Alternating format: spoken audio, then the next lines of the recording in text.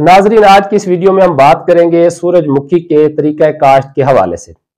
مختلف طریقوں سے سورج مکھی کی کاشت کی جاتی ہے، جن میں ایک چھٹا کاشت ہے، دوسری ہے وٹوں پر کاشت، یا ہم کہہ لیں کہ سنگل کھیل۔ اور تیسرا اس کا طریقہ ہوتا ہے پٹڑیوں پر کاشت، جیسے ہم مکئی کرتے ہیں، جسے ہم بیڈ کلٹیویشن کہتے ہیں، بیڈ سوئنگ کہتے ہیں، کپاس جیسے کاشت کرتے ہیں۔ اور چوتھا طریقہ ہے ڈریل کاشت۔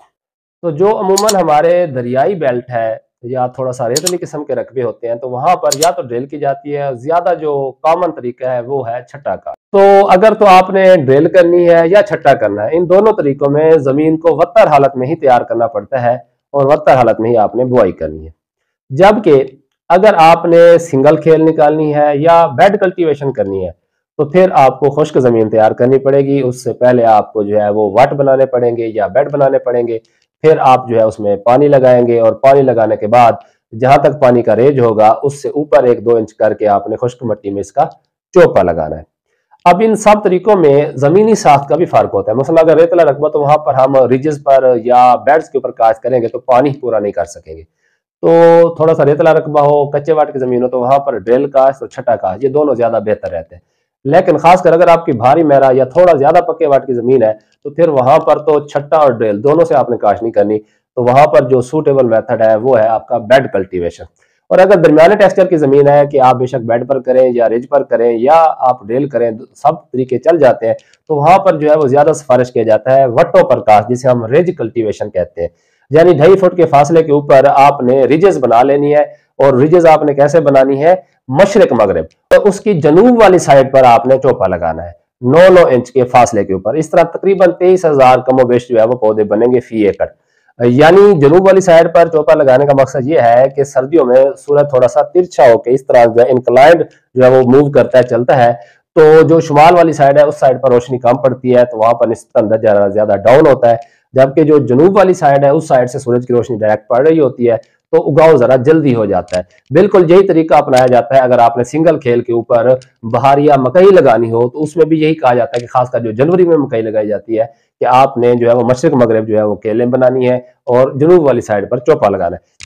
لیکن اگر آپ نے پٹنیاں بنانی ہے بیڈ بنانی ہے جو کہ ڈھائی سے تین فٹ فاصلہ سفارش کیا جاتا ہے، تو اس میں پھر کیا ہوتا ہے کہ آپ کو وہ بیڈ بنانے پڑیں گے شمالان جنوب کیونکہ اگر آپ مشرق مغرب کے رخ میں بیڈ بنائیں گے تو پھر جو چوپا آپ شمال والی سائڈ پر لگائیں گے وہ لیٹ اگے گا۔ اسی لیے پھر بیڈ بنانے پڑتے ہیں شمالن جنوبن اور چوپا لگانا پڑتا ہے آپ کو مشرق اور مغرب والی سائڈ پہ۔ یعنی صبح کے ٹائم پر جو ہے وہ مشرق والی سائڈ پر دھوپ ہوگی، نسبتاً جو ہے وہ ٹیمپریچر بہتر ہوگا اور پھر جیسے ہی سورج ڈھلنے کی طرف آئے گا، دوسری سائڈ پر آئے گا، مغرب والی سائڈ پہ، تو اس سائڈ سے بھی اسے جو ہے وہ کھیل کو دھوپ لگتی رہے گی اور اس سے اگاؤ جو ہے وہ نسبتاً بہتر ہو جاتا ہے۔ اب آپ بے شک کریں ڈرل سے کاشت یا آپ کاشت کریں سنگل کھیل پر یعنی وٹوں کے اوپر کاشت کریں یا آپ کاشت کریں پٹریوں کے اوپر۔ بائیس ہزار سے تیئیس ہزار پودا فی ایکڑ ہونا چاہیے۔ مثلا میں اگر آپ کو کہوں کہ آپ تین فٹ کے جو ہے وہ بیڈ بنائیں اور اس کے دونوں سائڈوں پر چوپا لگائیں تو پھر بائیس ہزار کم و بیش پودے پورے رکھنے کے لیے آپ کو پودے سے پودے کا فاصلہ آٹھ انچ رکھنا پڑے گا۔